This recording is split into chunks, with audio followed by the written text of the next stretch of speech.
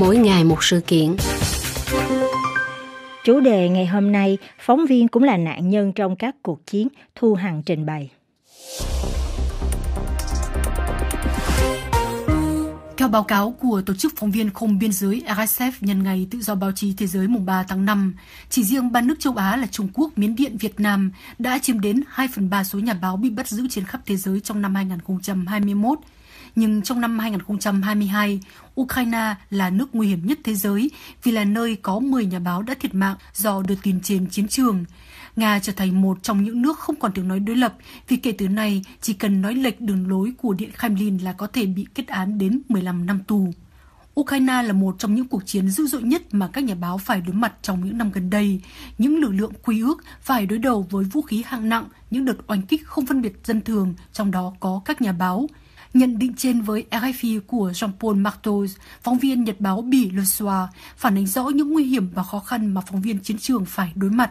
Ngoài ra, họ còn có thể bị cố nhắm bắn vì bị coi là thù nghịch. Ít nhất hai trường hợp đã xảy ra với một xe ô tô của nhà báo Mỹ tại thị trấn Irpin, ngoại ô Kiev vào giữa tháng 3 vừa qua, và một xe ô tô của nhà báo Anh, dù tất cả đều treo những dấu hiệu cho thấy rõ là xe của báo chí. Ngoài Ukraine, nhiều cuộc chiến ít được nhắc đến vẫn gây thiệt hại về nhân mạng cho các nhà báo. Theo tổ chức Phóng viên Không Biên Giới, thì 50 nhà báo và cộng tác viên của các cơ quan truyền thông đã bị sát hại khi tác nghiệp năm 2021.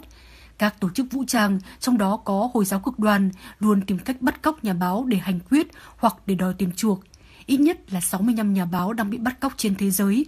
Các nhà báo tại Mexico phải đối mặt với một kiểu chiến tranh khác, khốc liệt và tàn bạo liên quan đến các băng đảng buôn bán ma túy. Chỉ trong 2 tháng rưỡi đầu năm 2022, đã có 8 nhà báo bị sát hại tại Mexico, hơn cả tổng số 7 nhà báo bị trả thù trong năm ngoái. Còn tại các nước chuyên chế, tự do báo chí bị xóa bỏ trong cuộc chấn áp mọi tiếng nói đối lập và chỉ trích.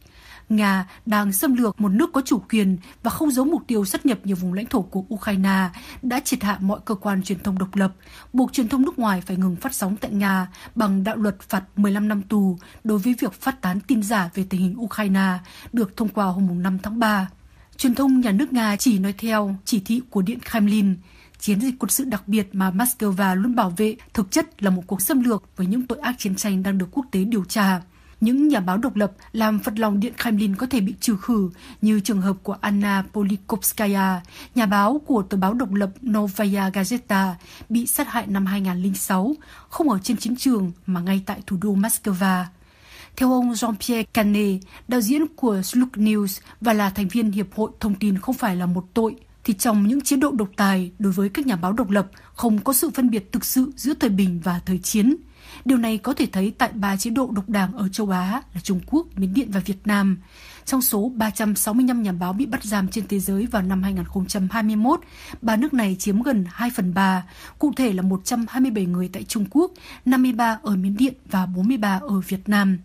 Bảng xếp hạng tự do báo chí 2022 của RSF xếp Việt Nam ở vị trí 174 trên tổng số 180 nước. Tuy nhiên, ngay tại những nước dân chủ, tự do báo chí cũng không được tôn trọng hoàn toàn. Ví dụ tại Pháp, nước đứng thứ 26 trong bảng xếp hạng của Tổ chức Phóng viên Không Biên Giới, thì gần như không thể đặt câu hỏi về các hợp đồng bán vũ khí, mặc dù nhiều cuộc điều tra độc lập cho thấy vũ khí của Pháp được sử dụng trong cuộc chiến ở Yemen. Trong thông cáo ngày hôm nay mùng 5 tháng 3, Tổng thư ký của Tổ chức Phóng viên Không Biên giới Christophe Deloitte lưu ý rằng việc tạo ra một kho vũ khí truyền thông ở một số chế độ chuyên chế không chỉ tước quyền được thông tin của công dân mà còn góp phần làm gia tăng căng thẳng quốc tế có thể dẫn đến những cuộc chiến tồi tệ, hết lời dẫn.